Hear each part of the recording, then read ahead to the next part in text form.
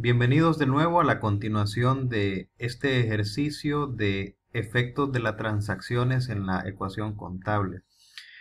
En el video anterior llegamos hasta la transacción número 6, quedándonos una ecuación contable de activo 257 mil dólares, pasivo 152 mil y patrimonio 105 mil.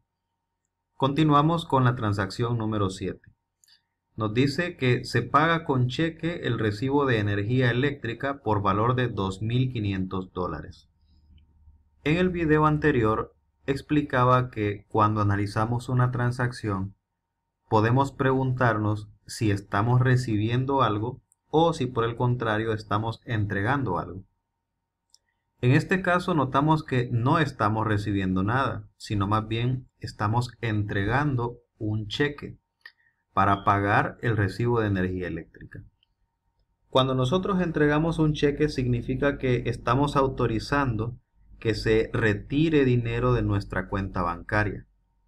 Por lo tanto, significa que nuestro activo se va a ver afectado y ese valor de 2.500 dólares va a ir restando en nuestro activo porque es dinero que va a salir de nuestra cuenta bancaria. Así que el activo disminuirá por 2.500 dólares. Ahora, ¿por qué estamos disminuyendo nuestro activo? Porque estamos pagando la energía eléctrica. Los servicios públicos como energía eléctrica, teléfono, internet, agua potable, etc., se consideran gastos de un negocio. Un gasto es una salida de dinero que forzosamente tiene que hacerse para continuar con las actividades normales del negocio. Y es dinero que pues no lo volvemos a ver. Son salidas de dinero que se van y no vuelven. Así que en este caso el pago de la energía eléctrica constituye un gasto. Los gastos rebajan el valor de mis utilidades o ganancias y como recordaremos, las ganancias están en el grupo del patrimonio. Así que cada vez que nosotros registremos un gasto, vamos a afectar nuestro patrimonio y en este caso va a disminuir también. Recuerden que en el video anterior también yo les mencioné una lógica a seguir.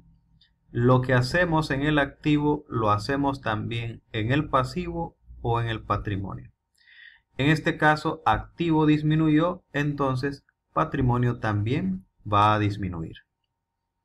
Con esto, nuestra ecuación contable nos queda de la siguiente manera. 254.500 en el activo y eso es igual a 152.000 en el pasivo, ya que no cambió, más 102.500 en el patrimonio. Teníamos 105.000, pero disminuyó en 2.500 por el pago de la energía eléctrica, que es un gasto del negocio. La transacción número 8 dice lo siguiente, se abonan 5.000 dólares del préstamo adquirido en el inciso número 2. Si nos vamos al inciso número 2, podremos notar que la transacción dice que se adquiere un préstamo bancario por una suma de 120 mil dólares.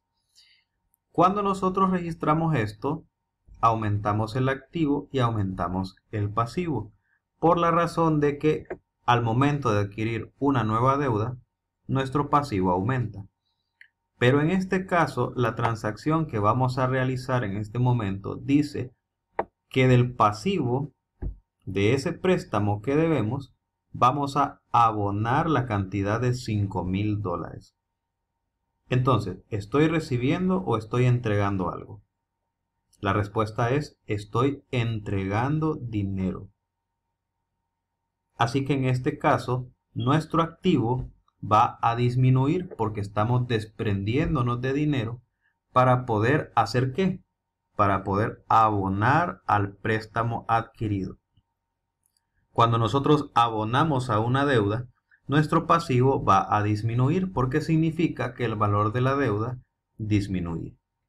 Siguiendo de nuevo la misma lógica, lo que se hace en el activo, en este caso disminuyó, se hace en el pasivo o en el patrimonio. En este caso, pues afectamos el pasivo y también disminuyó. Así que mi ecuación contable queda de la siguiente forma. 249.500 en el activo. En el pasivo tenemos 147.000 y en el patrimonio 102.500.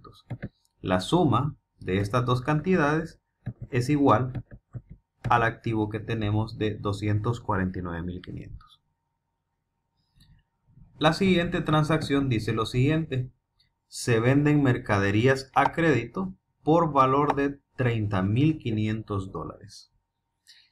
Anteriormente en el video pasado ya habíamos hecho una transacción de ventas. Así que ya sabemos que cuando se realiza una venta, aumenta nuestro patrimonio. ¿Por qué? Porque las ventas contribuyen a que nuestras ganancias se incrementen.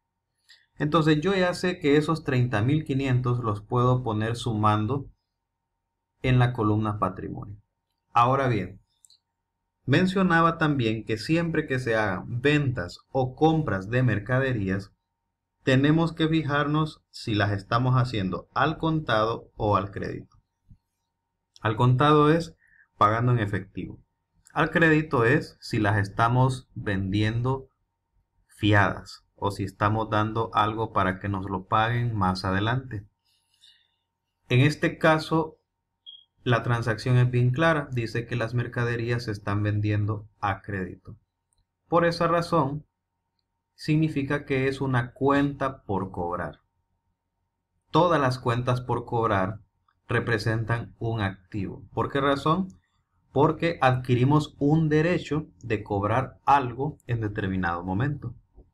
Así que en este caso, como es un valor que vamos a cobrar en el futuro, nuestro activo va a aumentar por esos 30.500. Entonces, cada vez que alguien se endeude con nosotros, eso va a representar un activo y este va a aumentar. Las cuentas por cobrar aumentan el activo cada vez que alguien se endeuda con nosotros.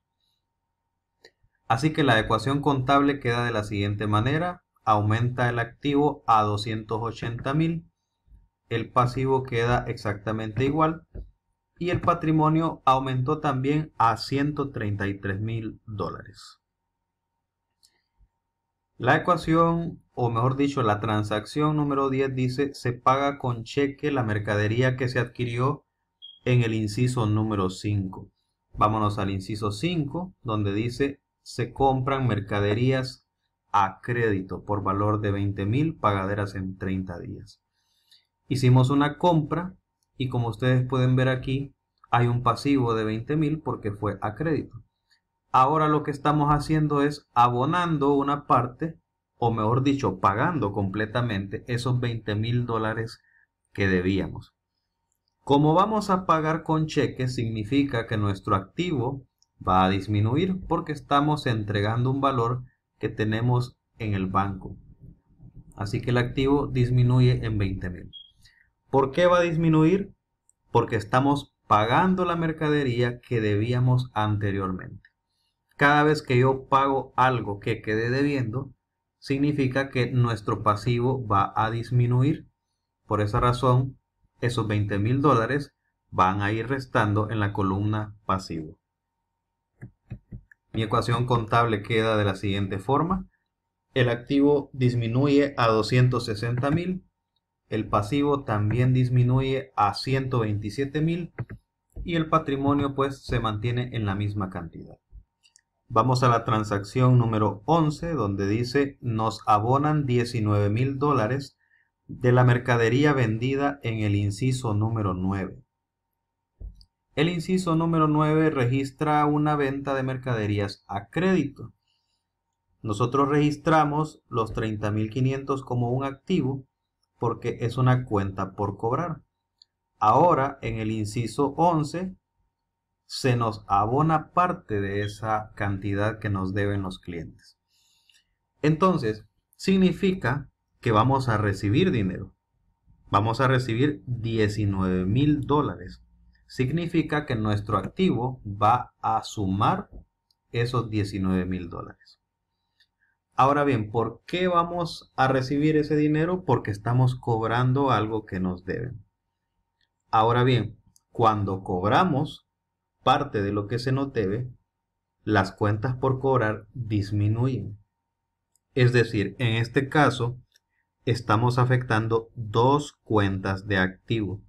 Y tal como vimos en el video anterior, cuando afectamos dos cuentas de una misma columna, una va a tener que sumar y otra va a tener que restar.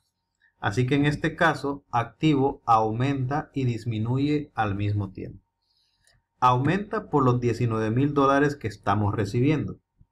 ¿Pero por qué los estamos recibiendo? Porque estamos cobrándole una parte a un cliente de lo que nos debe. Al cobrarle una parte tenemos que rebajarle esa cantidad, así que ahora esta persona o este cliente nos debe menos. Por esa razón aumenta y disminuye al mismo tiempo. La ecuación contable quedaría de la siguiente forma. 260 mil igual porque 19 mil con 19 mil se cancelan y el resto de la ecuación también se conserva de la misma forma. La última transacción que tenemos para este ejercicio dice lo siguiente un nuevo socio aporta 40 mil dólares en efectivo. Esto se parece a la primera transacción que hicimos, cuando el socio creó el capital del negocio. En este caso, alguien más se asocia con el dueño original y ofrece 40 mil dólares en efectivo. El negocio, en este caso, está recibiendo 40 mil dólares, así que nuestro activo va a aumentar por esa cantidad. Y como es una nueva aportación, significa que vamos a afectar la columna patrimonio. Recuerden, todas las aportaciones se registran en patrimonio y aumenta esa columna. Así que al terminar estas 12 transacciones, nuestra ecuación contable final queda de la siguiente manera. El activo queda en 300 mil dólares. El pasivo queda en 127 mil y el patrimonio aumenta hasta la cantidad de 173 mil dólares. Como se puede observar, siempre la suma de pasivo más patrimonio debe ser igual al total del activo. Si sumamos 127 mil más 173 mil, eso nos da un total de 300 mil, que es la cantidad que tengo en el activo. Vean cómo en este ejercicio, si nos vamos al inicio de él, empezamos con 80.000 en el activo, 0 en el pasivo y 80.000 en el patrimonio.